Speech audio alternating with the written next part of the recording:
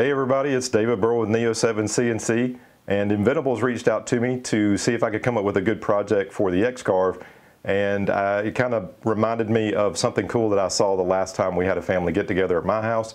My parents brought over a tray and it was not anything that I had seen before. It doesn't sound very impressive it just being a tray, but this one had a lot more to offer.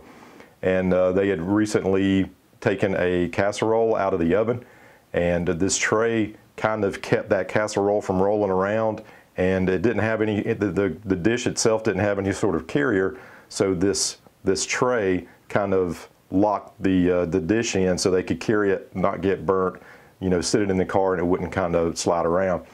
So what, what they had brought over was this tray right here. This is a very rustic uh, craftsman style tray. Somebody uh, handmade this and it, as you see it has a hole pattern on it and there's dowels that come with it and depending on the size of your dish you can kind of use these dowels to keep the dish from sliding around and it gives you an easy way to carry it. Now another cool thing about this is a Mr. Hughes made this in October of 1988 and uh, his, his, phone number's on here uh, without the area code so I don't know exactly where Mr. Hughes is but um, this was a pretty cool piece. Um, I'm pretty sure uh, this was probably a thrift store find, but um, it's interesting to have this and then see kind of who made it. So what I have done is I needed, I wanted to test that because the piece of wood that I'm going to use to recreate that tray, it's not going to be plywood like the one, like the original. So I wanted to kind of test the code. I wanted to uh, test the dimensions, test the fit of the dowels, and uh, so I, I, basically test cut this in a piece of probably 20 millimeter MDF and uh, everything worked. Uh, one concern that I had with the bit that I'm having to use, um, a standard bit that you can get is not going to have the depth of cut. This being 20 millimeters or three quarters of an inch, that's typically deeper than most all the bits that I have as far as a cutting depth. And so I was able to find a very tiny carbide two flute 1 8 cutter. Now the stick out on this is, is not ideal uh, because of the depths that I'm having to go to, but, and that was another reason I wanted to test it. So after kind of testing the whole dimensions and seeing what deflection, if any, that I get on the bit, I was able to dial in the sizes. So I'm kind of at a point where I feel comfortable moving forward with the project and hoping that I don't ruin this beautiful blank that my father made for me. This is a piece of, this is actually off the same board, a piece of black walnut with a maple stripe down the middle. Um, this is so close to the finished size, there's probably going to be about six millimeters, six millimeters or uh, a quarter inch around the perimeter. I added these uh, pine tabs and glued them on so I can hold the material down without it moving. I am going to use tabs inside the cut to keep the piece from coming loose once uh, the final depth has been reached. And um, it worked okay on the MDF. I'm hoping to get the same results with this beautiful blank here because I don't want to ruin it. Um, it's just it's just too pretty. So I'm going to go ahead and get this on the machine and uh, we'll get started.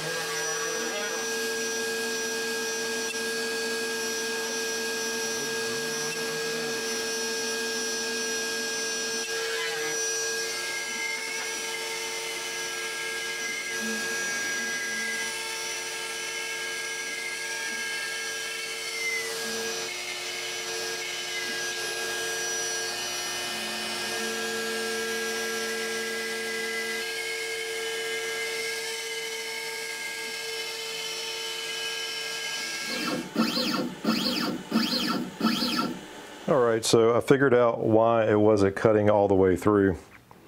And the reason is I'm not using dimensional lumber. I kind of forgot that. Uh, this is a sawmill lumber that was uh, milled down to whatever. And this is actually measuring 0.84. And I've noticed that the side pieces are way thicker. Um, this is measuring 0.80. So I was 50 thousandths off, so that's why um, I, it ended up where it ended up.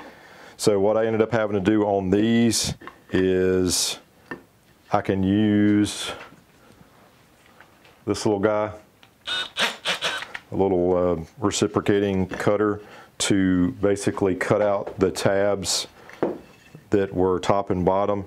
And then I had one in the corners, which I will remember to not do that again. Um, it makes it makes it a little challenging, but there was a there was about 50 thousandths, should be, yeah, almost dead on, 50 thousandths of material left in the bottom of the hole, not including the tabs. So that made it a, a little challenging to get those slugs out.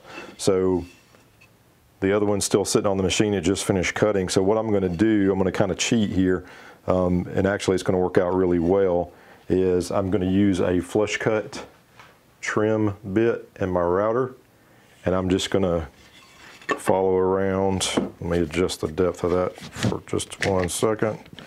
I'm going to follow around and trim this trim this out, and uh, it should take care of it and make it nice and clean. We'll see.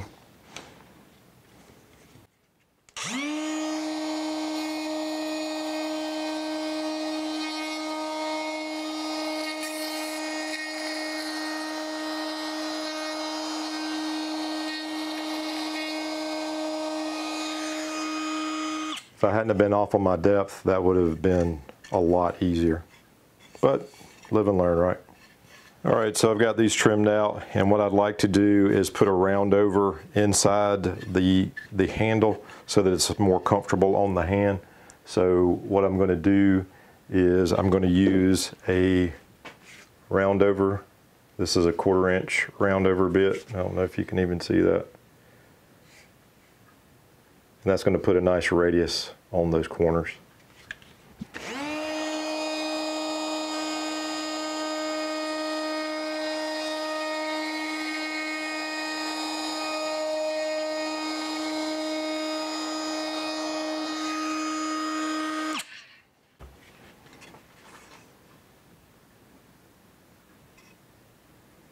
So I'll do that on the uh, the other sides. Lightly hit these with some sandpaper just to kind of smooth up the inside and uh, that'll be way more comfortable in the hand.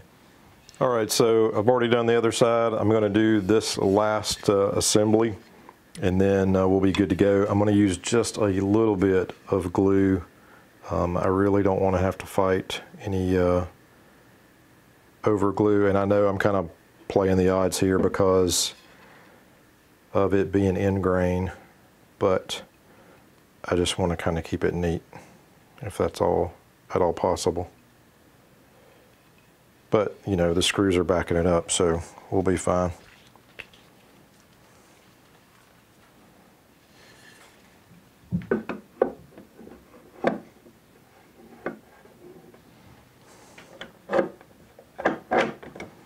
I'm going to do this center screw first.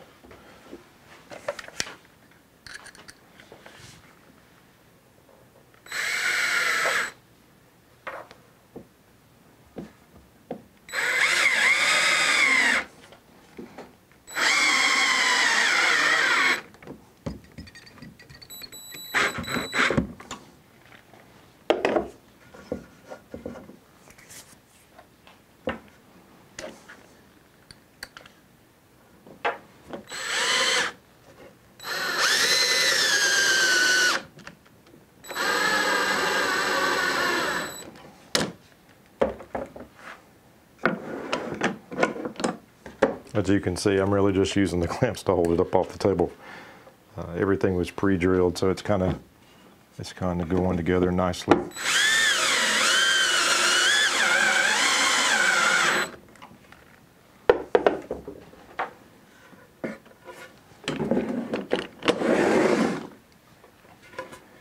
All right, so of course, a little bit of squeeze out.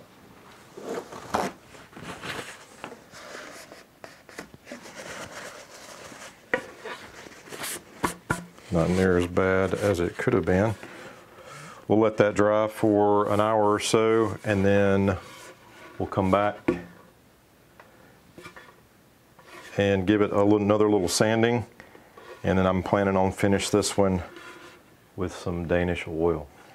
So that, uh, that black walnut is going to pop for sure. So uh, we'll be back as soon as this dries.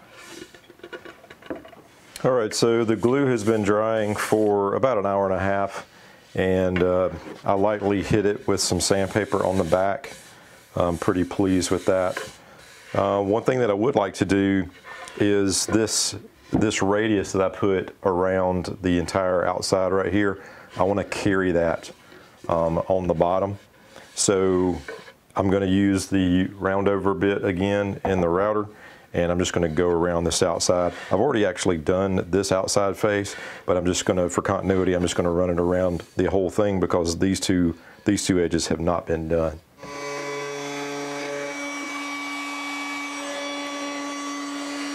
Much better.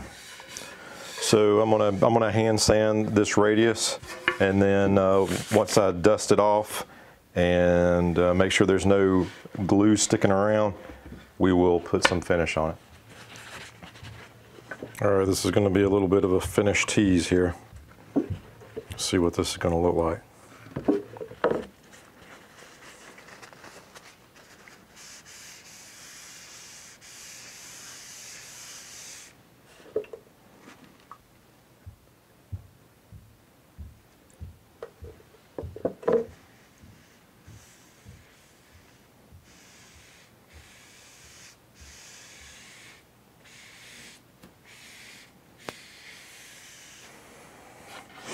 All right, so everything is done. All the, uh, the woodworking and the gluing and the finishing has all been completed.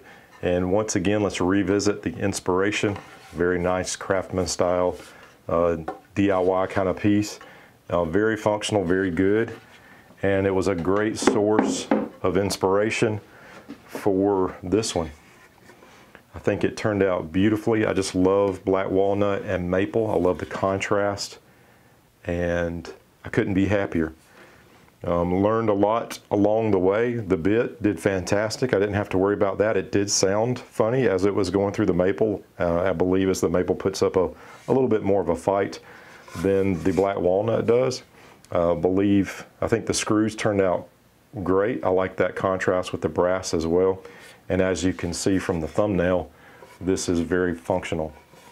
I imagine I'll be making some more of these in the future. My wife has already laid claim to this one, and uh, I can't say that I blame her. I think it turned out fantastic.